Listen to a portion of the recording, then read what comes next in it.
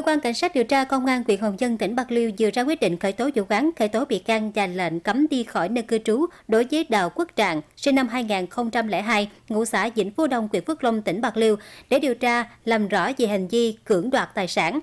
Theo hồ sơ của cơ quan công an, vào khoảng tháng 7 năm 2021, Đào Quốc Trạng sử dụng mạng xã hội làm quen, nhắn tin và nảy sinh tình cảm với chị M. Đầu tháng 1 năm 2022, Trạng hẹn gặp chị M, sau đó cả hai đến nhà nghỉ để quan hệ tình cảm. Lúc này, Đào Quốc Trạng sử dụng điện thoại chụp ảnh lại hình ảnh của Trạng và chị M.